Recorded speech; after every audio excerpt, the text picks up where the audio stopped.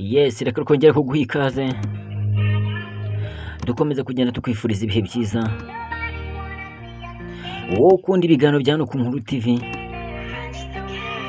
ukomeje no kugenda udushyigikira. By'umwihariko ni cya kiganiro cyitwara buri cyumviruko rufite impano. Nimba utarakora subscribe share na comment. Icyo twagusaba kano kanya ni ugukomeza kubana natwe ugakora subscribe. Ukazajya ugenda ukomeza kugenda ukurikira ibiganiro bigiye bitandukanye. Njye mugiye kubana muri iki kiganiro amazina yanjye. Ku batayazi nitwa mbarusha magana abiri na mirongo itanu. Nk'uko mubona hano kuri kamera z'inkuru tv murabona amafoto agiye atandukanye. Amafoto y'abasitari bakomeye hano mu rwanda. Reka mbacire ku mayange aho abo tugiye kuba turi kumwe hano imbere kuri kamera zacu. Turi kumwe na kamanzi fred. Kamanzi fred akaba ari umwe mu basitari bakomeye hano mu rwanda bagenda eh, bigisha uburyo youtube channel zikora. Turi kumwe na mbarusha imbavu cyangwa se big master umwe mu bafasha abahanzi bafite impano n'abakina komedi hano mu rwanda. Imbere zacu turabona umusitari ukomeye cyane hano mu rwanda. Niyo ntamuvuga benshi muramuzi. Imbere zacu gato murabona umwana w'umunyeshuri. Ndabizi kano kanyuse wibaza se bimeze bite? Ni ngombwa kubyibaza. Niyo mpamvu turi hano kugira ngo tubavire imuzi n'umuzingo tubagezaho bimwe mu bigiye kuba eh, tuganiraho kano kanya. Icyo ngusaba ni ukudakura amaso ndetse n'urutoki ku nkuru tv show. Kugira ngo tujye tubana gatanu kuri gatanu.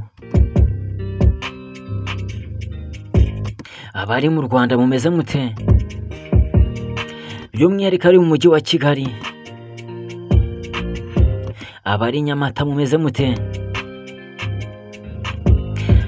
Abari gatsibo hariya kiramuruzi ndabashushe cyane.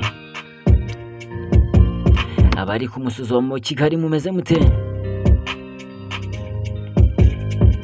Ab'icyangugu mumeze mute? Ndabashuhuje cyane. Cyangwa se umurenge wa bushekeri mumeze mute? Abari ku gisenyi ku mazi ndabashuje cyane. Abahanzi baho mumeze mute? Mwese nizere ko mugiye kubana nanjye muri iki kiganiro. Kiri kwara buri cyumviruko rufite impano.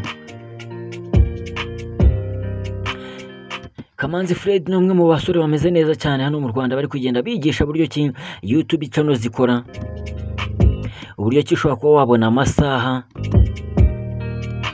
Uburyo ki ushobora kuba wakora ibintu biri karite. Uburyo ki ushobora kuba wakora ibintu wazajya kumonetiza channel yawe? Ntibabe baguhagarika kuko murabizi ko ari byo bintu bya mbere bigora cyane. Yigisha abantu ibintu bigiye bitandukanye buryo ki telefone wazikoresha. Witeza imbere. Yaba kuri youtube cyangwa se instagram. Na facebook. Uburyo ki wafungura tiktok ihemba? Ibyo byose wabisanga kwa kamanzi fred. Maze ukabasha kugenda usobanukirwa byinshi bigiye bitandukanye ku ikoranabuhanga. Yigisha abenshi uburyo ki ushobora kuba wakoresha telefoni yawe. Ukorera amafaranga. Murumva rero ni ibintu byiza cyane. Nanjye rero nkabanje mbabwira ati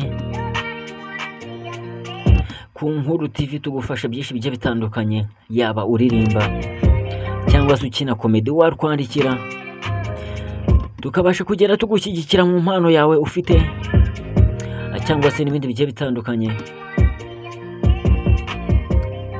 Ndabizi aho uherereye.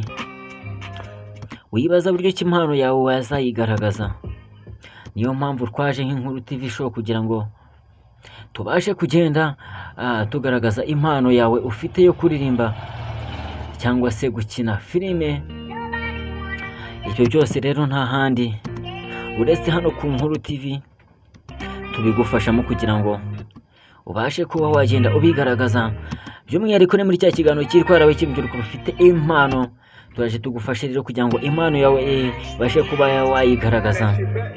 Bana natwe muri iki kiganiro uraza kugenda umenya byinshi bigiye bitandukanye. Cy'amazina yanjye ni yayandi n'ubundi?